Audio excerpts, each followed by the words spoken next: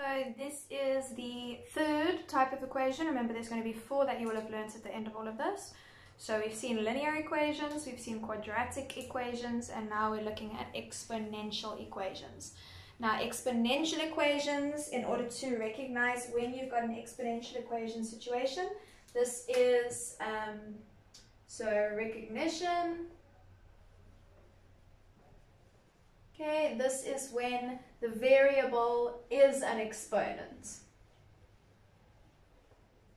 Okay, so with linear equations, remember you've got just plain normal x's. With, x, with quadratic equations, you had x squareds. And now with exponential equations, you're going to have something to the power of x.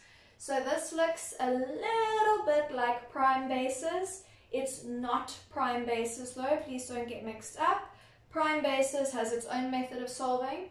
Exponential equations is an equation, that's how it's different to prime bases, so you solve it differently. Okay, now the method here, when you solve it, um, I'm just going to read out loud what's on your worksheet, you've got it in front of you. But basically what you need to do is you need to express both sides of the equation as a product of prime bases so that they have the same base. And then use quotient law and product law to ensure you have only have one power on each side.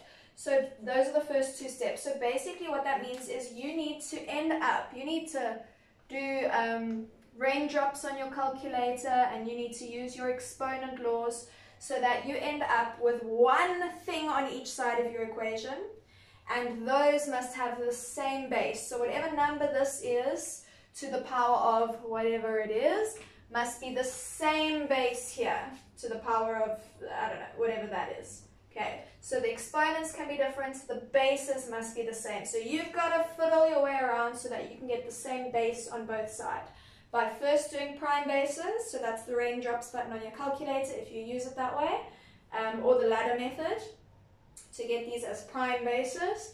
Then when you've done that, make sure you have only one thing on each side by using your exponent laws, by fiddling. Okay, so once you've done that, then the next thing you do is you drop the bases. So what that means is you're going to rewrite this equation so that you don't have the bases anymore. You've just got the exponents on the left and the exponents on the right. And this will turn this into a linear equation, which you can then solve like a normal equation. Okay, so what we need to do, use prime bases and all of our exponent laws that we know to make sure we have one power on each side and the powers must have the same base. When we've got that, we drop the base equate the exponents and solve it like a linear equation. Okay, and that's it. That's really all there is to it. It can get a little bit tricky though. There are some sneaky things they can ask you. So I'm going to show you one sort of normal boring question first and then I'll show you all of the different types of sneaky things they can show you. Obviously I don't know all of the different types but I'm going to show you all the sneaky ones I can think of. Okay guys, so here is our first question. We've got four times, remember those little dots means times, so we've got 4 times 81 to the 2x plus 1 equals 3 to the x times 972. Okay, now when we, um, when you see you've got an equation, you need to now determine what type it is. It's definitely not linear, it's definitely not quadratic, it is exponential because my x is in the exponent, it's not in the base.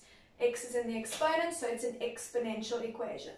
So we need to try and end up with one power on each side of the equation where my bases are the same. Okay, so in order to do that, normally the first step would be to do um, prime bases. So let's go ahead and do prime bases. 4, I need to rewrite as 2 squared. Okay, 81, that's the same thing as 3 to the power of 4, right? 3 cubed is 27, 3 to the 4 is 81. Let's quickly check. Yeah. Okay, so we'd rewrite this one as 3 to the 4.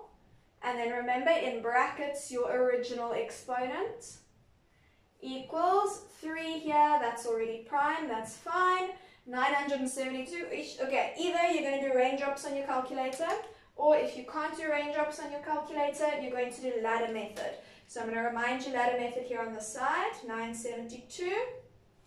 What we need to do is we need to take 972 and divide it by prime numbers until we get to 1. So if it's even, you're going to always start with 2. That's easy, right? So 972 divided by 2 takes us to 486. Let's divide that by 2 again. Remember, we only divide by prime numbers, so we divide by 2 again. We get 243. Okay, we can't divide by 2 anymore. Let's try dividing by 3. Yep, that works. If we divide by 3, we get 81. We know we can divide that by 3 again. We get 27. We divide that by 3 again. We get 9. Divide that by 3, we get 3. Divide that by 3, we get 1. Okay, we stop when we hit 1. So, 972, written as a product of prime bases, is 2 squared, because there's two of them, and then 3 to the power of 1, 2, 3, 4, 5. Okay, so we've done our prime bases. Now we've got to try and make it look like this. We've got to have only one power on each side by using our exponent laws, by using product law and, and um, quotient law. Okay, so firstly, the first thing that I see is that we've got 2 squared on the left and we've got 2 squared on the right, okay? So that means I can divide both sides by 2 squared and it'll just go away. It'll be gone. Okay, so that's the first thing I'm going to do. Divide by 2 squared on both sides. My 2 squareds go away and I'm left with 3 to the 4, 2x plus 1 equals 3 to the x, 3 to the 5. Okay, I'm one step closer. But I still only, I still have two bases on this side. Now, how am I going to turn 3 to the x, 3 to the 5 into 1 power? Okay, let's remember our exponent laws. Our exponent laws say that when you multiply two things with the same base, that's what I've got here, multiplication, we add the exponents. Now x and 5 are not like terms, so we must keep them separate, x plus 5. Okay, now looks like this. Now I've got one thing on each side. So the next step, this is the fun part, is we drop the base. Okay, we write down only our exponents.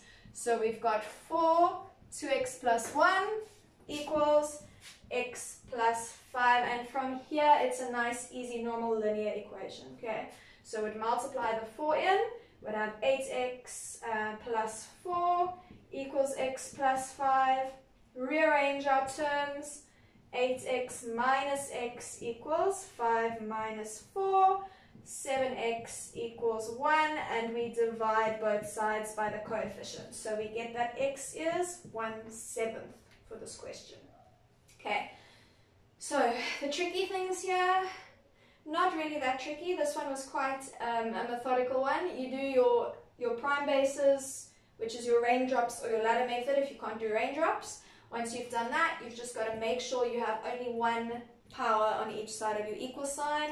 When your powers have the same base, you drop the base, and from here it's just a linear equation, which you should be pros at by now. Okay, so that was sort of a normal one, the normal type of one you might expect to see. I'm going to show you some tricky ones now. Okay guys, here is our second example. Okay, so we've got 1 over 9 to the x plus 2 equals 27. Now this is easier than the previous one in some ways and trickier in other ways. The ways in which it's easier is that here we already have one power on the left and one power on the right. Okay, there's nothing being multiplied on the left or on the right. So it's a little bit less to do here, but the things we need to do are a little bit trickier because here we have a base that is a fraction. Now we did look at this when we did prime bases, that if you have a base that's a fraction, so if we have 1 over 9, remember you can rewrite that as 9 to the power of minus 1. Okay, remember that. So that's what we're going to use here. I'm actually going to write it in a little cloud to remind us. Okay, if you have 1 over a number, you can rewrite that as that number to the power of minus 1. So whenever you have a base that's a fraction, you turn it into a whole number with a negative exponent. So we're going to do that here.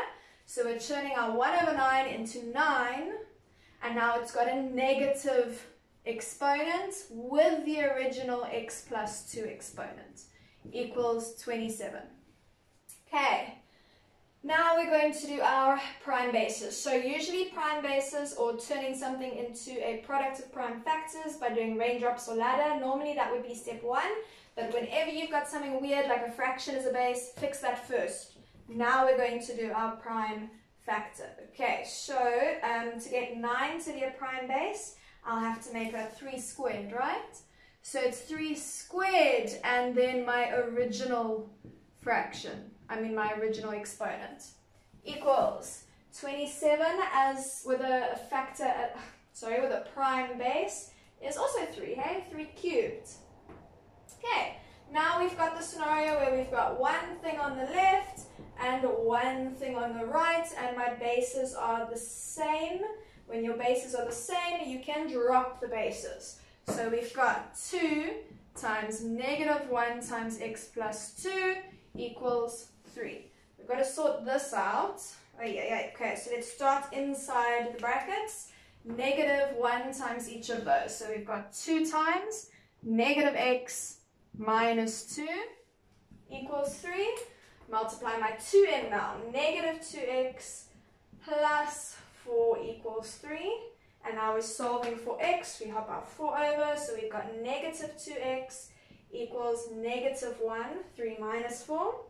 And divide both sides by negative 2. I know I'm um, going through the red section quite quickly. That's because this is linear equations, which you should understand by now.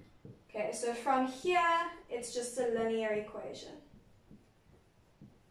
Okay, we solve it like we normally would from grade 8, the way that we solved them in grade 8. Okay, and we get that x is a half for this question. Okay, so I'm going to do... Yeah, there's still quite a few little trickster, trickster type things they can ask you, so I'm going to show you those, and then it's your guys' turn. Okay guys, so here is example 3. We've got 7 to the 2x plus 1 times 7 times 3 equals 3. Now again a little bit easier than the first example because all of my bases are already prime. Okay, so I don't have to do prime bases here, but I do need to rearrange this so that I have only one power on each side. So I've already got one power on the right. On the left I've got three powers. That's not going to do that's not good. So I need to try and turn this into one power on each side. So I need to group the sevens together. To do that, I know this has an exponent of 1, and I'm going to do product law. So it's going to be 7 to the 2x plus 1 plus that 1. Okay, times. I also need to group those 3's together. So actually, instead of times in, let's move this 3 across. The way you do that, if it's being multiplied, is you divide. So we divide both sides by 3. And when I divide 3 by 3, I get 1. Okay.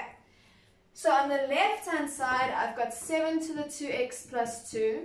And on the right-hand side, I've got 1. Now, this is going to be a bit tricky. Remember, you can only drop the bases if the base is the same on both sides. Here I have a base 7 here I have a base 1. Now remember I said you need to make one power on both sides with the same base by using your exponent laws. Now do you remember the exponent law that says anything to the power of 0 equals 1? Okay, so this 1 over here, I can write that. If I want to rewrite that with a different base, I can write it with any base as long as that base has an exponent of 0. Okay, if I want to rewrite this as 7 to the power of 0, I can because 7 to the 0 is equal to 1. So I can write these with the same base. I can write it as 7 to the 2x plus 2 equals 7 to the 0. Now I have the same bases. Now I can drop them and I'm going to have 2x plus 2 equals 0 and we solve for x because this is now a linear equation. So I'll have 2x equals 0 minus 2, which is negative 2. And then we divide both sides by my coefficient of x. And we get x is negative 1 as our answer. Okay. Um, that's basically all of the tricky things I can think of. If they give you a fraction as a base, or if you end up with a 1 on the one side. Okay, so if you've got a fraction as a base, you rewrite it as a whole number with a negative exponent. If you've got a 1 on the one side, you write it with whatever base you like, as long as you make the exponent 0. Okay, that's, yeah, that's the tricky stuff. Obviously, it can get more difficult um, just in terms of how many steps they make you do, but yeah, it's just a, a factor of being as prepared as possible by practicing as much as possible with everything in maths. That's the way it is. Okay, guys, so I'm going to send you this and um, your worksheets. Please let me know if you get stuck. Please ask for help. And please, please, please talk to me if you think there's something dodgy looking in the memos. Okay, thank you, Layla and Kayla especially for picking up all of my um, all of my errors.